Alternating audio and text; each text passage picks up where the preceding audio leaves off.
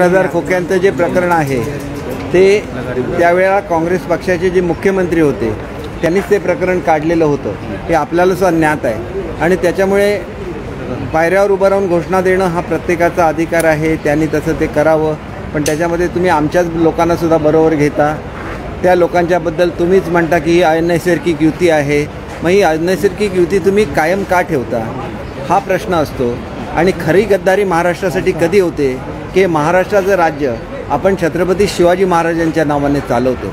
आणि आपण तिथं शिवाजी महाराजांचं नाव वापरतो आपल्या पक्षाच्या ह्याच्यामध्ये. आणि त्यांचे वंशज जे असतात ज्यांच्याबद्दल आपण आदर ठेवला पाहिजे. अत्यंत पराकोटीचा आदर ठेवला पाहिजे. त्यांचा मात्र आदर कसा कमी होईल याच्यासाठी तुम्ही काम करता. त्याला खऱ्या अर्थाने गद्दार कोण याचा विचार महाराष्ट्राने केला पाहिजे. की छत्रपतींचा वारस असलेल्या लोकांकडून तुम्ही त्या ठिकाणी लिहून घेण्याचा प्रयत्न करता त्यांच्या आत्मा आत्मसन्मानाला ठेच पोचवता. एखादं तिकीट म्हणजे खा फार मोठं नाही आहे. छत्रपतींच्या नावासमोर एखादं राज्यसभेचं तिकीट हे फार मोठं नसतं. परंतु तिथं मात्र तुम्हाला छत्रपती शिवाजी महाराज आठवत नाही. आणि तुम्ही इतरांबद्दल सुद्धा वाटेल ते बोलत फिरता. मला एकच सांगायचं आहे की महाराष्ट्राबद्दल खरी गद्दारी कुठली असू शकेल? तर ज्या कोविडच्या काळामध्ये लाख हजारो लोक मृत्युमुखी पडत होती. आणि त्यावेळेलासुद्धा मराठीमध्ये एक म्हण असते अशी असते. मी म्हण म्हणून म्हणतो ती. ते लक्ष घातलेलं आहे की महाराष्ट्रामधल्या कुठलाही गरीब मनुष्य ज्याला मध्यान्न भोजन दिलं जातं ते दर्जेदार असलं पाहिजे.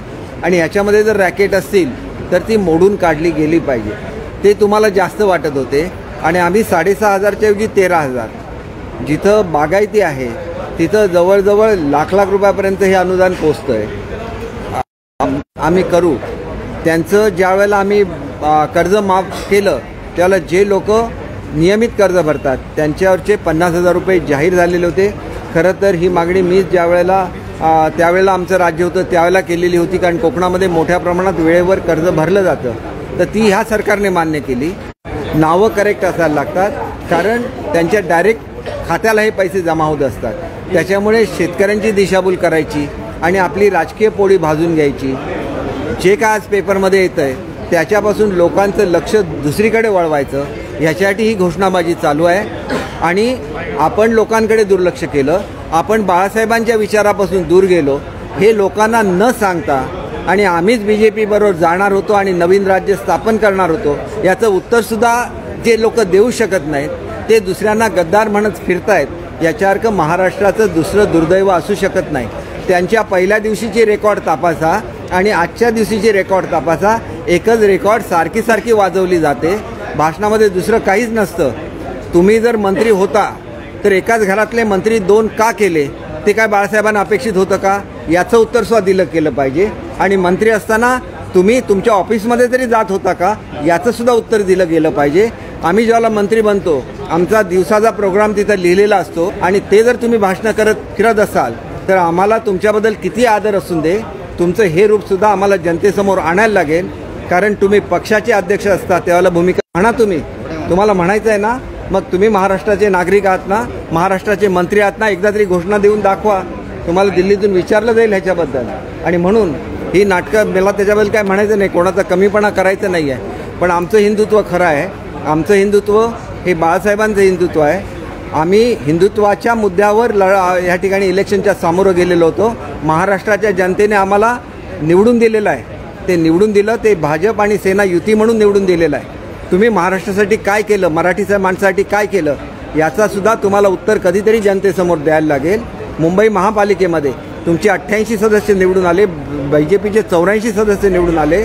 तरी चार वर्ष एकही पद न देता बी जे पी तुमच्यामागे ठामपणे उभी राहिली. ही सुद्धा वस्तुस्थिती आहे.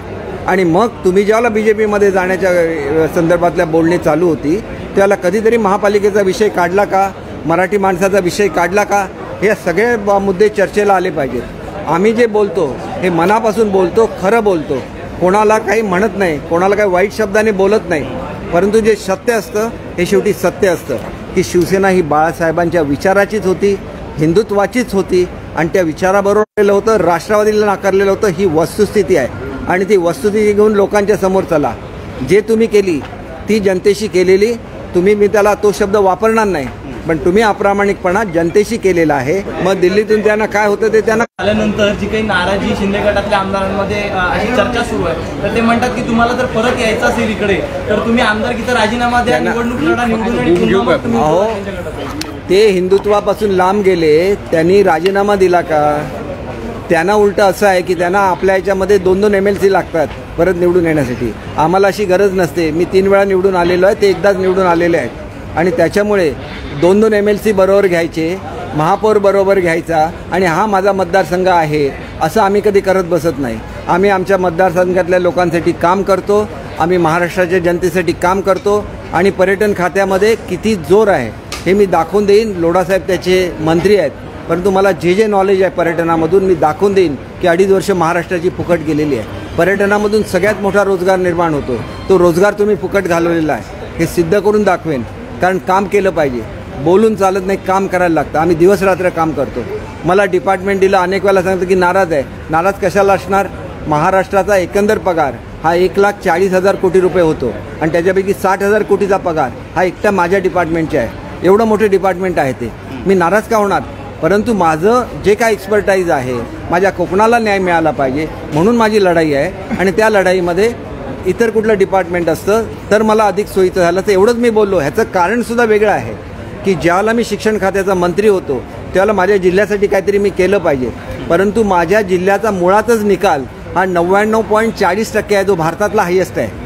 एवढा निकाल भारतामध्ये कोणाचाही नाही आहे. आणि मग त्या जिल्ह्याचा मी सुपुत्र आहे किंवा सदस्य आहे कार्यकर्ता आहे तर मला वाटणार की जे माझ्याकडे नाही आहे त्याच्यासाठी काहीतरी करायची संधी मिळावी. ह्याच्या पलीकडे नाराजी बिराजी कोणाच्या एकाच्या मनामध्ये नाही. आम्ही ज्यावेळेला आसाममध्ये होतो त्यावेळेला तुम्ही हे म्हणायचंच ना आज पंधरा लोक परत येणार दहा लोक परत येणार. एकही मनुष्य परत आला नाही उलटा एक सदस्य कमी झाला.